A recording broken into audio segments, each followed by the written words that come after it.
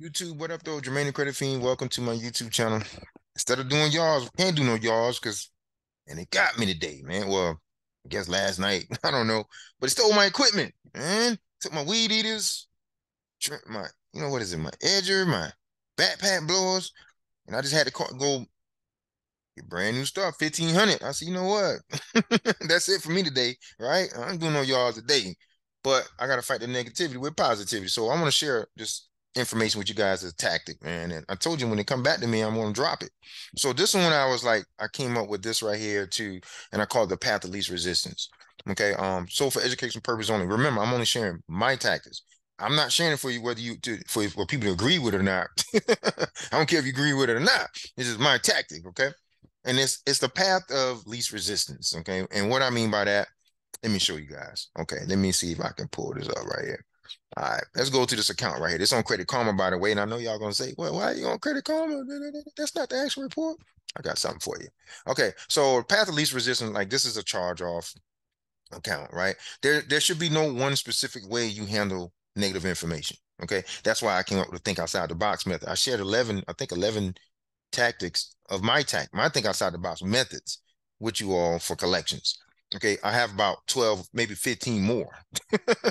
okay, because it was this continues. I had to keep thinking, keep thinking, keep thinking because I didn't want to feel trapped. I didn't want to feel stuck, right? I don't know what to do. That's one of the worst feelings in the world. In my line, they want to feel that way. So as long as I kept getting creative, that's what it required, getting creative. It's just information, but how can I turn it around? And this one, I'm like, hmm, path of least resistance. That means I want to look for something solid now, something solid that it's like, but they're not the typical. You know what I mean? And you know, you know the typical on the charge off account. Y'all know what I'm talking about. Balance, you know, date closed, date open, you know, and all that kind of stuff. Well, this one, I'm gonna use this one, and this one here might help out a lot of people because U.S. Auto Finance is out of business they were what bought out by what is it West Lake, Westgate, West one of them, West Coast.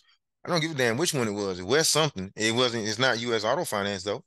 So company is out, you know, out of business, unable to verify reported information or whatever. Right? Delete from my credit report. Path of least resistance. so that was one. Okay. There's some other information on here too. It's like, okay, you know, you can you know, like in this case, high balance. But I'm like, mm, yeah, but what I'm talking about something that's like, all right, let me, you know, even with some debt collect, they used to be debt like common, I forget what the name of them, common something, Commonwealth, so I don't know the name of them. But like they literally had dissolved their business or, or at least their um what you call it in my state, right? So yeah, this business is dissolved. so you know what I mean? That's the path of least resistance. How are you to verify for a company that don't exist? Okay, if they do say they verified as accurate, people go get that money, go get that kin ass thousand dollars. Right? I'm not offering any kind of legal advice, but I'm offering my legal opinion. Go get that, go get that damn money. I know that, right? If they violate, then they should compensate. Only if you're willing to escalate, right? Here we go. Let's talk about a collection then. You know what I mean? I'm only going to do two accounts, right? Because I'm trying to keep this video kind of short because, yeah, I want to, you know, new equipment. I still want to go out there and play with it though. You know what I'm saying? I want to go out there. So I want to drop this video real quick. So let's just say right here, Midlands Credit. We know that they're a debt buyer. We know that. But instead of the typical FDCPA, you know, the balance isn't accurate. Instead of the typical, I'm like, what else on here is the path of least resistance? Wait a minute original creditor name. Isn't that part of the validation of debt, notice of debt content? So they are required to do. How can I spin that around? Original credit name, no info. Oh shit. This you see what I'm saying? Violation of the FDCPA, right? You know, you see what I'm saying?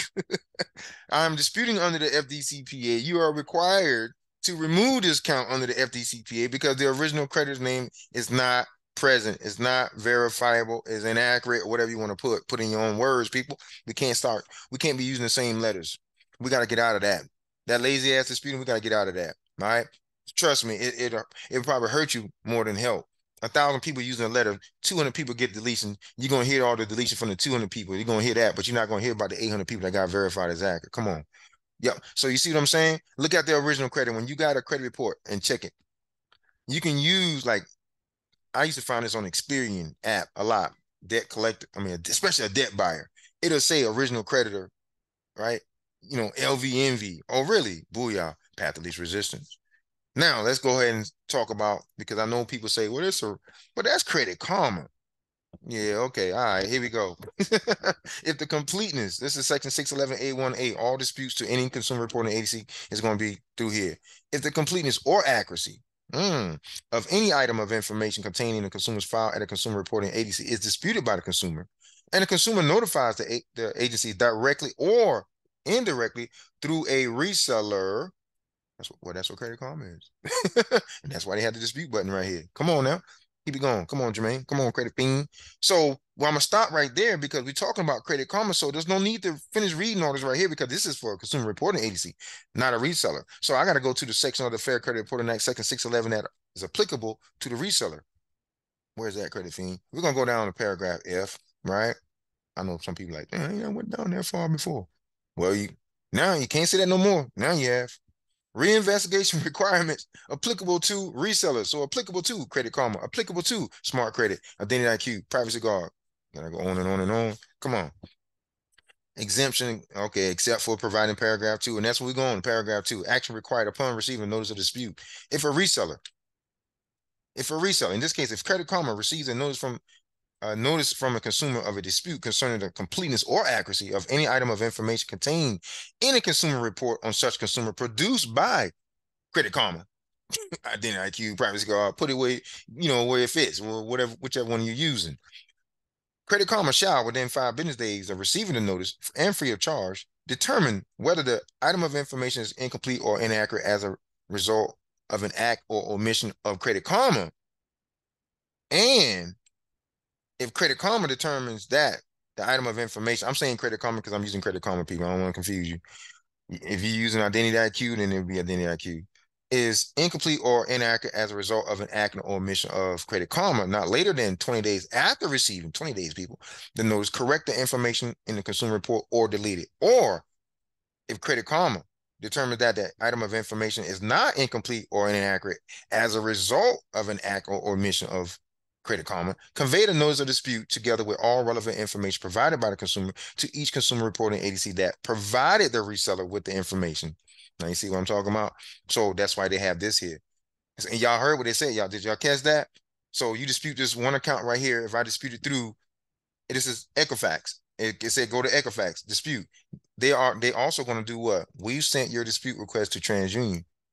Ah, two in one. You see what I'm saying? Path of least resistance. All right. you see what I'm saying? And then on the backside, if the creditor, furnisher, or whatever verify one, deleted on the other, well, we're going to hit them with section 623. B, duties of furnisher of information upon notice dispute. One. D, if the investigation finds that the information is incomplete or inaccurate, report those results to all other consumer reporting agencies to which the person furnished the information. What results? Well, in this case, I'll show them the deleted results and then tell them that, hey, on the Fair Credit Reporting Act, you are required to report these results to all other consumer reporting agencies. Mm. That's it, people. It's Jermaine the Credit Fiend. Thank you guys for taking the time to check out this video. I'm going to play with my new toys. And I'll catch y'all on the next one. Y'all be safe out there. Peace.